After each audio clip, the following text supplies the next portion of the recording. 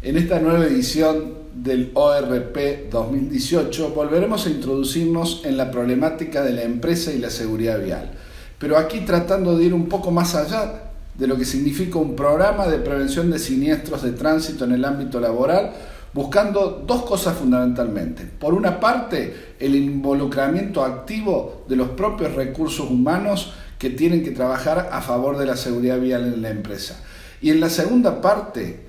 trabajar sobre los resultados. De alguna manera evaluar si las acciones que estamos haciendo dan los resultados esperados y tener la capacidad de cambiar si ello no es así y de profundizar las medidas si vamos avanzando en el buen camino. Sobre todas las acciones concretas que está haciendo el sector privado a favor de la seguridad vial en la Argentina, vamos a plantear cuáles son las medidas más novedosas, las más innovadoras y sobre todo aquellas que están realmente cambiando los riesgos del tránsito y mejorando la situación general en materia de seguridad vial para las empresas argentinas.